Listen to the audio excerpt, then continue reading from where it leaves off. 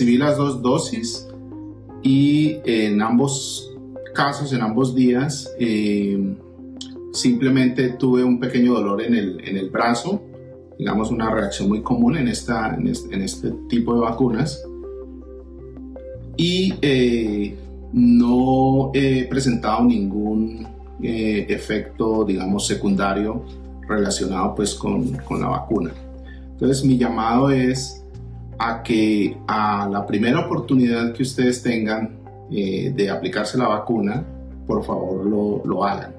Y la razón es muy sencilla. Si eh, un buen número de personas o la gran mayoría de personas en la comunidad está vacunada, el virus no va a tener la oportunidad de saltar de, un, de una persona a otra y eso nos va a permitir detener o parar esta pandemia.